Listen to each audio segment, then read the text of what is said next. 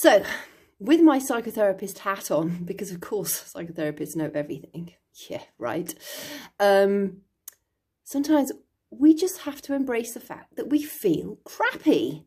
Don't know where it came from. I was a moody smoothie, but I feel better now. Did hug a few trees, looked at bark, looked at the intricacies of the beauty of nature, because to be quite frank, nature is where it's at. All the cool kids hang out in nature these days. Did you know that? So, um, yeah, embrace, embrace how you're feeling. If you're feeling shitty, just do what makes you less feel less shitty, whether that's pouring a large glass of red wine, sounds very nice right now, a gin and tonic, a walk out in nature, a massage, a cuddle with your significant other, whatever it is, just make time to do it because it's incredibly important. If we're feeling antsy or ratty or schmoody moody, it's because we might be slightly out of balance for whatever reason. Maybe our boundaries are being stepped upon.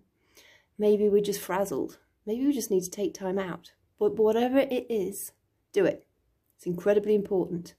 You are the only inhabitant of your body for the longest amount of time. Now, I know that doesn't sound like that makes any sense at all, but it makes sense in my head, so I hope you know what I'm talking about. Look after you. And this is Valentine's weekend. Sod the presents of everybody else. Look after you. You are worth it because you are bloody brilliant.